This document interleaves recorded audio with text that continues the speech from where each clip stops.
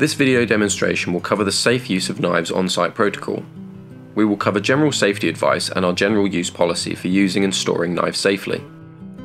Risk assessments define the control measures required to reduce the risks associated with using knives around site and to prevent injury to the user and others around them. Users will be supplied with full details of the policy which is described in this video. This policy does not replace any individual safety operating procedures for tasks that are carried out whilst on site. This serves as general guidance. Where there is a requirement to use knives as part of daily work activities, operatives will be issued with safety knives. Never use a knife for a task which it wasn't designed for. All knife users must visually inspect knives prior to each use. If the blade or handle is damaged or worn or rusty, the knife must not be used. Knives which do not have retractable blades should not be carried in pockets under any circumstances. Individuals issued with any type of knife are responsible for ensuring that it isn't lost, misplaced, or damaged. Do not change the blades yourself. If you feel your blade needs changing, please inform your team leader or the maintenance department. Blades should be changed by the maintenance and engineering team and must not be disposed of in the general waste bins. For those who use an open bladed knife, these must be signed in and out as needed.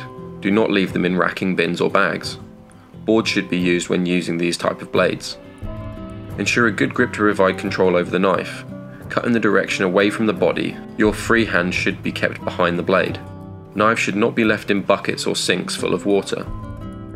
Make sure blades, where applicable, are fully retracted when not in use. Never hold, carry, or pass a knife by its blade. Never try to catch a falling knife, step away and let it fall. Any cuts or nicks from knives, please seek aid as soon as possible to reduce risks of infection. All near misses and first aid accidents must be reported immediately. Knives issued by the company are not to be taken off site. Knives are to be stored in your department's lockable knife box. At the beginning of the day, you must sign out your knife and sign it back in after you've finished with it. Any defects or near misses must be reported immediately. Once the knife has been signed out in your name, you have sole responsibility of that knife. Every effort has been made to ensure that the instructions and demonstrations given in this video will assist you in using and storing knives safely. But please remember in the event of any difficulty or concern, stop and seek advice from your team leader or supervisor. These measures have been introduced to reduce the risks of cuts or serious injury. Please be reminded that it is a criminal offence to carry a blade instrument without just cause, and anyone not following the above guidelines will be subject to disciplinary action.